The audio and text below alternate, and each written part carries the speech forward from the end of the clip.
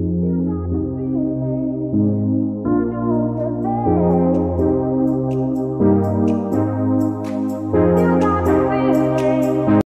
friends welcome back to my channel तो friends आज की प्रोपगेशन मेरी रबड़ प्लांट पर है, जो आपको मैं दिखा रही हूँ। इसमें काफ़ी सारी वैरायटी हैं, तीन वैरायटी मेरे पास है। अब मैं समझती हूँ ही, इसमें तीन ही वैरायटी हैं शायद और कोई वैरायटी मुझे नहीं मिली।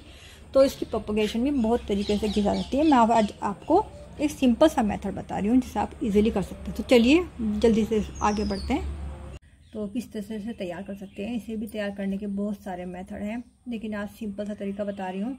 बाकी अगर मैं सारे मेथड आगे बताऊँगी आपको तो, तो वीडियो ज़्यादा लंबी हो जाएगी और आप भी बोर हो जाएँगे। तो चलिए जल्दी से पहले से पहले हमें करना क्या है? ये है मेरे पास पत्ते कुछ रबड़ प्लांट के। इसमें आपको जो पत्ते लेने हो सबसे नीचे के मैंने तोड़े हुए हैं। आप भी नीचे के पत्ते तोड़ सकते हैं। तो ये दिखा रही हूँ मैंने मैंने अपनी तीनों ही जो वैरायटी मेरे पास तीन वैरायटी हैं प्लांट की। ये देखिए, ये एक कलर वाला ये वेरीगेटेड है, ये रहा। ये ग्रीन है और इसमें एक काई भी है, ये रहा।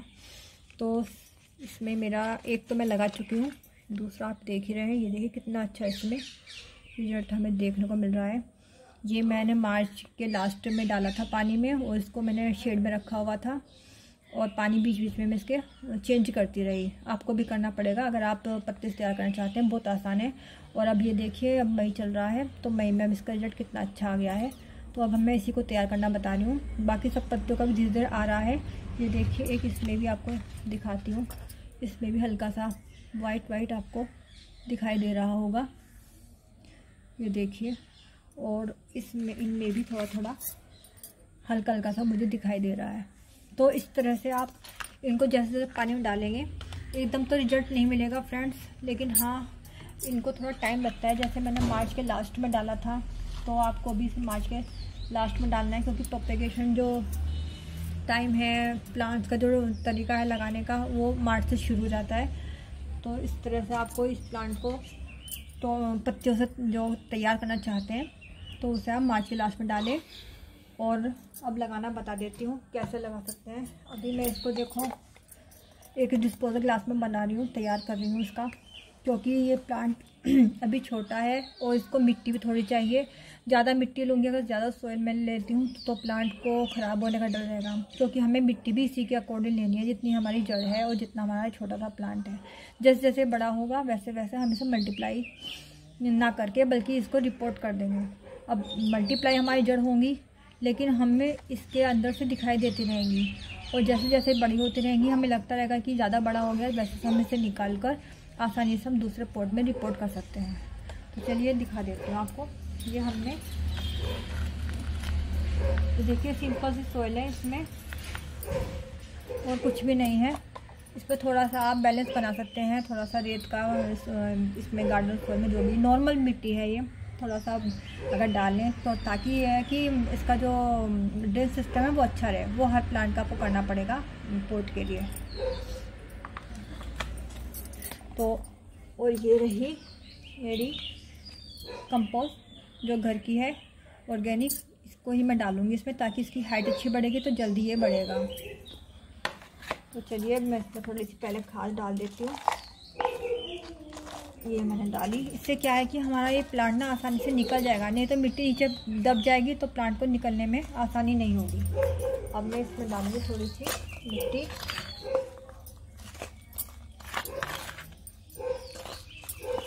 अभी हम पहले देख लेते हैं हमारी कितनी आएगी। अब आ जाएगी ये। अब इसमें हम ये डालेंगे। ये हमने ये देखिए, अब हम इसे धीरे से ऐसे डालेंगे इसे दबाना नहीं है बिल्कुल भी। हम्म। अगर हम दबाएँगे तो इसकी जड़ें टूटने का डर रहेगा। और वही करना क्या है हमें, उठा पटक करनी है ऐसे, जिससे बैलेंस बना रहे मिट्टी का और इसमें एयर बबल भी ना रहे। हैं ये देखिए, मिट्टी का पूरा एक बैलेंस हो गया है। जो थोड़ी बहुत इसके पत्थर से हैं, वो पानी से घुल जाएँगे। और मिट्टी भी इतनी है जितनी हमारे प्लांट को चाहिए। अभी हमारा बेबी प्लांट है तो इसको हमें इसी तरह तैयार करना पड़ेगा। आप चाहें तो कोई और पॉट पॉट भी ले सकते हैं। घर का कोई भी आपके पास कंटेनर हो तो ये तो मैं एक ईजी सा सिस्टम बता रही हूँ। बाकी थोड़ी सी इसके ऊपर मैं डाल रही हूँ खाद ताकि जब जब इसमें पानी पड़ेगा, तब तक इस खाद के रस से इसकी हाइट भी बढ़ेगी और ये ख़राब भी कम से कम होगा। ये डाल दिया हमने पानी। अब इसका देखते हैं हम सिस्टम पानी का। देखिए पानी कैसा आसानी से निकल रहा है इसका। ये देखिए। बहुत सिंपल सा तरीका है। और जड़ भी दब गई और हमें कुछ ज़्यादा करना भी नहीं पड़ा। अब एक्चुअली में अगर हम इसको ऐसे दबाएँगे तो हमारी जड़ जो है वो इतनी दब जाएगी कि उसे अंदर ही अंदर पानी कम लगेगा। मैंने कुछ नोटिस किया है, इस तरह से अगर हम प्लांट तैयार कर दें तो प्लांट सर्वाइव नहीं हो पाते। वो प्लांट मोस्टली ख़राब हो जाते हैं। तो अगर आप इस तरह से लगाएँगे, बड़े पोट में या चाहे छोटे पोट में, कैसे भी पोट हो, आपका घर का हो या रेडीमेड हो उससे क्या प्लांट कम से कम ख़राब होता है डैमेज कम होता है और उसकी ग्रोथ भी अच्छी रहती है। खाद आप ये भी डाल सकते हैं या लीव कंपोस्ट भी डाल सकते हैं। अगर आपके पास वो नहीं है तो आप रेडीमेड भी डाल सकते हैं। अब मेरे पास घर की थी तो मैंने घर की डाल दी। अगर आपके पास नहीं है तो आप रेडीमेड भी डाल सकते हैं। देखिए, पानी आ गया। थोड़ा सा मैं और डाल देती हूँ उसमें। फिर मैं आपको इसका रिज़ल्ट भी दिखाती हूँ। थोड़ा सा और डाल देती हूँ। पानी रुक नहीं रहा है बिल्कुल भी। तो फ्रेंड देखिए ये आपके सामने कितना अच्छा ड्रेन सिस्टम। एक्स्ट्रा पानी निकल रहा है। ये एक अच्छे प्लांट की और पोर्ट की पहचान है। जब तक हमारा पानी नहीं निकलेगा एक अच्छा नीचे ड्रेन सिस्टम नहीं होगा एक्स्ट्रा पानी नहीं, नहीं निकलेगा तब तक हमारा कोई भी प्लांट हो चाहे वो हम छोटा तैयार करें या बड़ा वो हमारा सर्वाइव नहीं करेगा। तो नीचे अच्छा खासा मैंने लगाया हुआ है इसमें होल। तो अब बस मुझे इस पर पानी डालने की ज़रूरत नहीं है, आवश्यकता नहीं है जब तक ये मिट्टी गिर है। लेकिन इस पर एक बात ध्यान देनी है कि इसमें आपको कोकोपिट बिल्कुल नहीं डालनी है, एक हार्डी प्लांट है तो इसे मिट्टी भी थोड़ी हार्ड चाहिए। तो बस आप चाहें तो बिना रेत के डालने के बजाय आप इसमें कंपोस्ट या सूखी पत्ती डालकर भी इस मिट्टी को तैयार कर सकते हैं, क्योंकि ये बड़ा होकर काफ़ी एकदम से इधर उधर झुकने लगेगा। तो उसको कंट्रोल में करने के लिए या तो आपको कुछ लगाना पड़ेगा या फिर मिट्टी को थोड़ा सख्त रखना पड़ेगा। तो ज़्यादा सॉफ्ट मिट्टी ना लें, इसको हार्ड लें। चलिए मैं इसका वो भी दिखा देती हूँ। तो इसे आपको घर के अंदर ना रखें घर के बाहर ही रखना है, लेकिन शेड में रखना है। और ये देखिए, ये मेरा दूसरा प्लांट जो मैं तैयार करती हूँ। ये पहले प्लांट तैयार किया अभी मैं निकाल नहीं सकती, क्योंकि अगर मैं निकालूँगी तो इसकी जड़ ख़राब हो जाएँगी। लेकिन जब इससे थोड़ा बड़ा हो जाएगा तो मैं इसकी वीडियो आपसे ज़रूर शेयर करूँगी। ये मेथड मेथड आपको मैं दिखा रही हूँ, और दूसरा मेथड ये है, ये देखिए।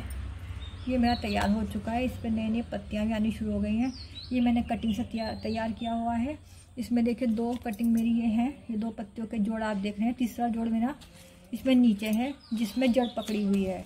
तो इसी तरह से हमें तैयार करना पड़ता है। लेकिन ध्यान रहे, अगर आप कटिंग से तैयार करते हैं तो इस इस टाइप के प्लांट में जो हार्डी प्लांट होते हैं, उसमें आप ऊपर कटिंग के ऊपर, जहाँ से आपने कट किया है, वहाँ थोड़ा सा नील पॉलिश टच कर दें या फिर वैक्स को होट करके पिघला के थोड़ा सा आप उसको टपका दें से। उससे क्या है कि जो इसका अंदर का मॉइस्चर है, जो हम इस पत्तों से हमारा निकलता है, वो मॉइस्चर लेवल जो है बंद हो जाएगा और कटिंग को अच्छा रिज़ल्ट मिलेगा और आपकी मेहनत भी सफल रहेगी। मैं हर बार ऐसे ही करती हूँ, जो भी मोटी कटिंग लेती हूँ उसे ऊपर से थोड़ा सा नील पॉलिश टच कर देती हूँ ताकि मॉइस्चर बंद हो जाए और फिर रिज़ल्ट इधर उधर से निकलना शुरू हो जाए। अब देखिए, अब छोटा है, ये मैंने मार्च के लास्ट में करी थी और अब इसका रिज़ल्ट मिल चुका है। एक और भी है मेरा तैयार, लेकिन उसमें अभी जड़ तो पकड़ लिए, लेकिन अभी ऊपर से रिज़ल्ट नहीं आया है। तो अगर आप दो तीन प्लांट तैयार करते हैं और आपको रिज़ल्ट एक का मिल रहा है, एक का नहीं मिल रहा तो ये ना सोचें कि वो हमारा कटिंग ख़राब हो गई है या हमारा प्लांट सर्वाइव नहीं कर रहा है। आप उसे हल्के से नीचे से खोल के चेक भी कर सकते हैं और फिर उसे बंद कर सकते हैं, क्योंकि उस पर काफ़ी जड़ आ चुकी हैं। इसलिए मैं अब दोबारा नहीं खोल रही क्योंकि बार बार खोलने से ना प्लांट की जड़ खराब हो जाती है रूट सिस्टम ख़राब हो जाता है। तो जब वो निकलेगा तब दिखाऊँगी। तो दो मेरे प्लांट तैयार हो चुके हैं, दो आपके सामने हैं और बाकी ये तैयार हो रहे हैं। तो मेरे इस तरह से आठ दस प्लांट तैयार होने हैं और ये बहुत ही कॉस्टली प्लांट पड़ते हैं फ्रेंड्स इन्हें आप इंडोर में रखेंगे तो ज़्यादा अच्छा होगा. बस इनके पत्तों का आप धो दीजिए या फिर कपड़े साफ़ कर दीजिए और ऑक्सीजन के मामले में भी ये बहुत अच्छे प्लांट माने जाते हैं. मैंने जो तीनों प्लांट लगाए हुए हैं, चलिए मैं वो दिखा देती हूँ आपको फाइनल में. ये देखिए फ्रेंड ये मेरे तीनों, पहला प्लांट ये रहा. देखिए कितनी अच्छी अच्छी पत्तियाँ निकल रही हैं इसकी. बिल्कुल न्यू लीव निकल रही है न्यू बेबी लीव एक ये निकल रही है देखिए, ये देखिए. क्या इस, काफ़ी टाइम हो गया, इस प्लांट में दो तीन साल हो गए। मैंने कटिंग की हुई थी, ये देखिए कट हो रखा है यहाँ से भी और इसके भी, इसकी कटिंग मैंने ली हुई है और ये देखिए, ये मैंने कट किया हुआ है यहाँ से जोड़ पे और यहाँ से देखिए बेबी प्लांट ये बेबी लीव निकल रही है। ये देखिए, इसको मैंने साइड में ही साइड से वो किया था तो इस साइड से निकल चुका है और इसका एक बेबी प्लांट ये रहा, जो आप देख रहे हैं, छोटा सा। ये देखिए निकल रहा है। दूसरा भी दिखा देती हूँ, ये है मैं डबल शेयर इसका वेरीगेटेड ये भी देखिए, इसका एक ये रहा। और ये देखिए, इसकी पत्ती बर्न हो रही है। तो अगर आप बाहर रखेंगे तो इस तरह से इसकी पत्ती बर्न हो जाएँगी। तो देखिए प्लांट की शो आधी अधूरी हो जाएगी। तो इसलिए मैं आपको यही सजेस्ट करूँगी प्लांट को हमेशा किसी शेड के नीचे यहाँ मेरा जो पेड़ है, इसके शेड में रखा हुआ है। कुछ ऊपर तीन शेड भी है तो वहाँ मैंने इसे रखा हुआ है। काफ़ी ठीक ठीक हो गया है। ये मेरा कट काट काट के मैंने इसको बूशी बनाया थोड़ा सा लेकिन जैसे जैसे बड़ा होगा, ये ट्री का रूप ले लेगा। तो आप इसे काटते रहें और प्लांट तैयार करते रहें। ये मेरा ग्रीन शेड का है देखिए। कितना प्यारा इसके पत्ते आ रहे हैं, ये देखिए इसमें भी। और इसके इधर, एक इधर आ रहे हैं, ये देखिए। तो इस तरह से फ्रेंड्स, आप जितने मर्ज़ी उतने प्लांट तैयार कर सकते हैं। जैसे कि आजकल ऑक्सीजन की बड़ी प्रॉब्लम चल रही है, सभी को ऑक्सीजन चाहिए। और एक जो नेचुरल ऑक्सीजन है, उसकी सबको काफ़ी ज़रूरत भी है, आवश्यकता भी है। तो जितने आप प्लांट अपने तैयार करके रख सकते हैं, उतनी आप ऑक्सीजन पा सकते हैं। तो अगर आपको ये वीडियो पसंद आती है, आप भी तैयार करना चाहते हैं तो इस तरह से आप इजीली तैयार कर सकते हैं। तो फ्रेंड्स अगर आपको ये प्लांट पसंद आता है तो इस वीडियो को लाइक कीजिए शेयर कीजिए सब्सक्राइब कीजिए, और अगर फिर भी आप इसकी कटिंग में कुछ भी पसंद चाहते हैं तो आप मुझसे कमेंट बता सकते हैं। तो आज थैंक यू सो मच